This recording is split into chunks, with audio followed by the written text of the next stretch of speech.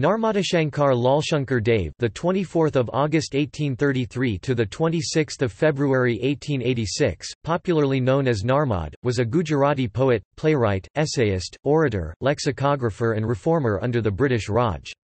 He is considered to be the founder of modern Gujarati literature. After studying in Bombay, he stopped serving as a teacher to live by writing. During his prolific career, he introduced many literary forms in Gujarati. He faced economic struggles but proved himself as a dedicated reformer, speaking loudly against religious and social orthodoxy. His essays, poems, plays and prose were published in several collections. His Mari Hakikat, the first autobiography in Gujarati, was published posthumously. His poem Jai Jai Garavi Gujarat is now de facto state anthem of Gujarat state of India.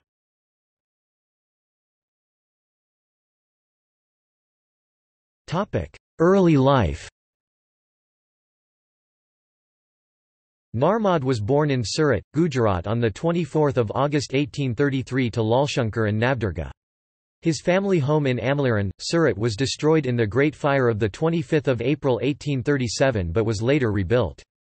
He commenced schooling with Nana Mehta in Bhuleshwar, Bombay at age 5. He later joined Fakir Mehta and Aicha Mehta's school in Surat and moved to Bombay where he attended the government Gujarati school of Balgovind Mehta at Paidani. He returned to Surat where he attended the school of Durgaram Mehta and Pranshankar Mehta. He was initiated in Upanayan at age 8. He started studying at the English school, Elphinstone Institute, Bombay on 6 January 1845, beginning college in June 1850. He delivered his first public speech Mandali Malvathi Thatta Labh the advantages of forming an associations that same year. His mother died on 23 November 1850 and he left college.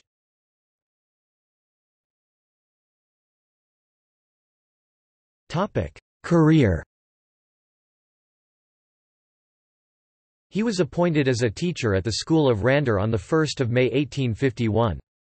He again recited his early essay in Swadesh Hitekchu Mandali and started Gyansagar magazine in July 1851. He was transferred to a school in Nanpara in March 1853. After the death of his wife Gulab, he left this position and went to Bombay, in January 1854. He returned to college on the suggestion of his friend Javarilal Umayashankar and joined Buddhavartak Sabha, a literary group in June 1854. He started learning Siddhant Kaumudi. He became interested in poetry and started writing in September 1855, studying literary meter over the following year. He presided over Buddhavartak Granth from March to December 1856. After his second marriage, he left college in August 1856, writing Pingal Pravesh in February 1857 and dedicating it to his father. He joined Gokuldas Tejpal Vidyalaya as a teacher and began studying Sanskrit literary works such as Laghu Kaumudi, Chandralok, N. Rasimhashampu, Kavyachampu, Prataprudra, Adhyatma Ramayana. He started at Central School as a teacher in February 1858, then resigned in November 1858 after deciding to pursue a literary career. He studied Sanskrit grammar and poetry in Pune from November 1858 to March 1859.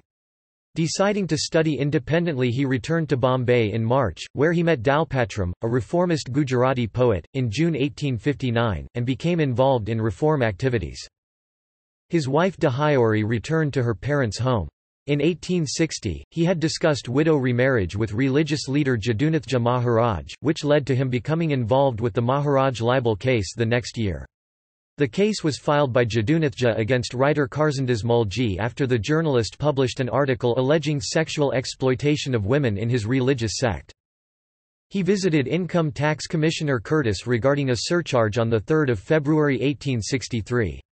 With the help of friends, he started a bi-weekly newsletter called Dandio lit. A drum stick, modelled after British weekly The Spectator, in September 1864. It was loudly reformist in its stand and attacked traditional customs of Hindu society. It ran until 1869 when it was merged with the Sunday Review. On 18 January 1864, his father died, aged 56. He moved back to Surat in July 1865 and sheltered Savitagori, a widow, in a neighbouring house. He published Narmagadiya in September 1865. He was banished from his caste due to reform activities on 18 August but reinstated on 21 November 1866. The same year, he wrote his autobiographical work, Mari Hakikat, the first autobiography in Gujarati. He published Naikavishepravish and Uttam Naika dedicated to his then separated wife, Dahiori. In early 1867, he published Narmakavita, a poetry collection. He had debts of 10,000 that caused him great concern. He married again in 1869. He published summaries of Ramayana, Mahabharata and Iliad in 1870. He published the school version of Narmagadiya in 1874 and the edition for the government in 1875. He moved back again to Bombay in March 1875, where he met Dayanand Saraswati, a reformist and founder of Arya Samaj, and started to become deeply religious.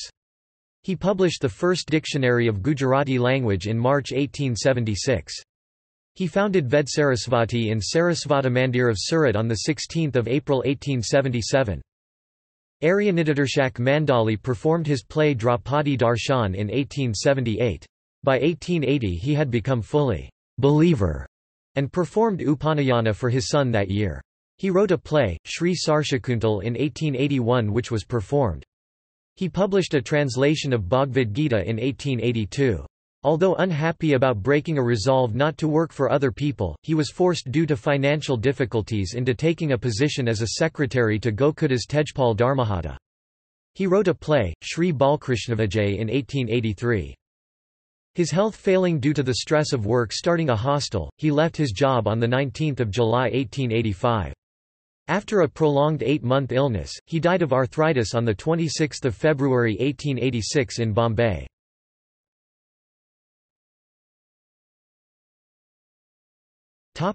Works Narmad is considered to be the founder of modern Gujarati literature. He introduced many creative forms of writing to the Gujarati language, including pioneering works in autobiography, poetry, lexicography, historical plays and folk literature research. He was an outspoken journalist and pamphleteer. Narmad was a strong opponent of religious fanaticism and orthodoxy. He promoted nationalism and patriotism with famous songs such as Sahu Kalo Jeetva Jang, wrote about self-government and discussed having one national language, Hindustani, for all of India, nearly five decades before Mahatma Gandhi or Nehru. His poem Jai Jai Garavi Gujarat, written in the preface of Narmakash, listed with a sense of pride all the cultural symbols that go into constituting the Gujarati identity. These symbols included things non-Hindu, implying that Gujarat belongs to all the castes, communities, races, religions and sects that live together there. The poem is now de facto state song of Gujarat. Mahatma Gandhi acknowledged him for his philosophy of nonviolence. His major collected works are Narmagadiya Gujarati, Narmagadiya collection of prose, Narmakavita Gujarati, Narmakavita collection of poems, Narmakathakash Gujarati, Narmakathakosa collection of stories of characters of mythological literature and Narmakash Gujarati, Narmakosa dictionary. His Mari Hakikat, the first autobiography in Gujarati, was published posthumously.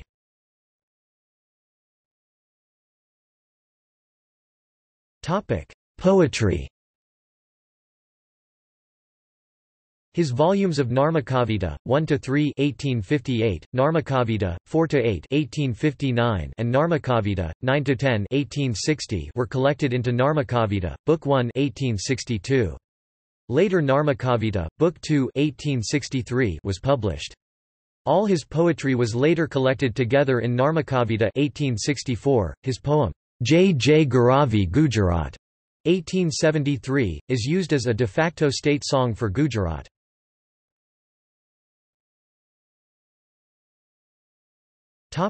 Prose His Rasapravish 1858, Pingalpravish 1857, Alankarpravish 1858, Narmavyakaran Part 1 and 2 1865, Varnavachar 1865, Naika Vishepravish 1866 are his collections of essays on poetics with historical importance. Ritavarnan 1861, Hinduani Padati 1864, Kavicharat 1865, Saratni Muktasar Hakikat 1865, Iliadno Sar 1870, Mah Mahipatram Rupram Metta 1870, Mahapurushona Charitra 1870, Mahabharatano Sar 1870, Ramayanano Sar 1870, Sarshakuntal 1881, Bhagavad-Jatanu Bhashantar 1882 are his prose works. His other writings between 1850 and 1865 collected in Narmagadhya 1865 and posthumously published in Narmagadya 2 1936 are his other prose works. His essays are collected and edited in three volumes. They are Narmadgadya or Narmadashankar Lalashankarna Gadyamak Granthono Sangra 1875 edited by Mahipatram Rupram Nilkanth, Narmadnu Mandir Gadya Vibhag 1937 edited by Visvanath Bhatt and Narmadgadya 1975 edited by Gambhirsen Gohil.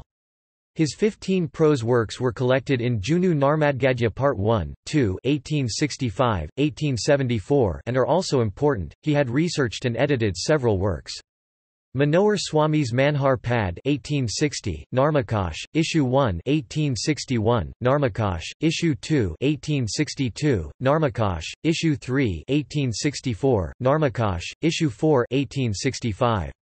Narmakathakash 1870, Dayaramkrut Kavyasangra 1865, Sri Geet Sangra 1870 of songs popular in Nagar Brahmin ladies, Premanand's Dashamskand 1872 and the complete issue of Narmakash 1873 are his edited and researched works, Tushli Vaidvyachitra Dialogue, 1859, Ramjanaki Darshan 1876, Draupadi Darshan 1878, Balkrishnavijay 1886, Krishnakumari are plays and dialogue dialogues. His Sitaharan 1878 was a previously unpublished play. Rajarang Part 1, 2 1874, 1876 are his works on ancient and modern world history. Dharmavishar is his work on philosophy. Gujarat Sarvasangra (1887) and Kathiawar Sarvasangra (1887) are also historical works. Mari Hakikat, his autobiography written in 1866 and published posthumously in 1933, is the first autobiography written in Gujarati. His notes and letters were later published as Uttar Narmad Charitra (1939).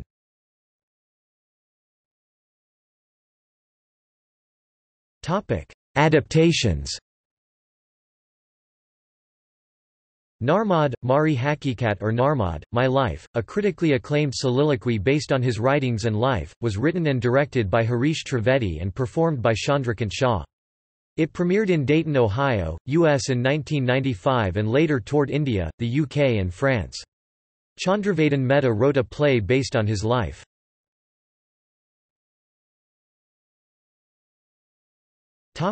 Honours Narmad's house, Saraswati Mandir, has been restored and converted into museum. Several places in Gujarat were named after him, such as Central Library in Surat. Busts of him have been erected in Ahmedabad, Vadodara and Surat.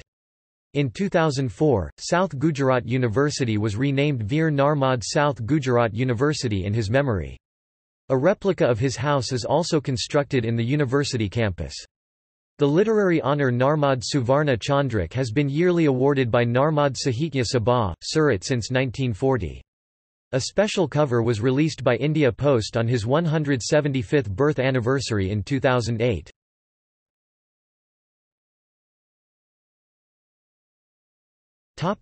Personal life He married Gulab, daughter of Sariram Shastri of Sudar Court, Surat, on 29 April 1844. She gave a birth to girl in 1852 who died 15 days later. Gulab herself died on 5 October 1853 following a stillbirth. In May 1856, he married Dahayori, daughter of Tripuranand Shastri, she separated from him in 1860. He married Subhadra later Narmadagori, a widow of his caste, in 1869, breaking the customary taboo against widow remarriage. She gave birth to their son Jaishankar in 1870. He worked as a clerk for Bombay municipality, and never married, dying on 31 March 1910 of the plague.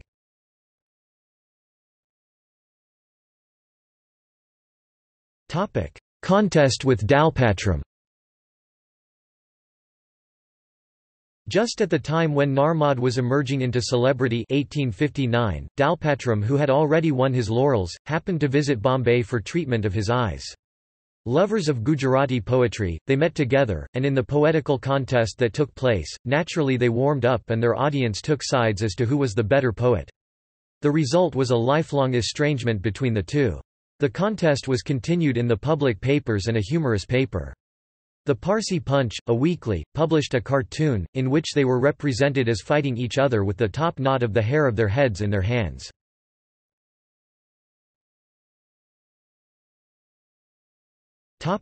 See also. List of Gujarati language writers. Notes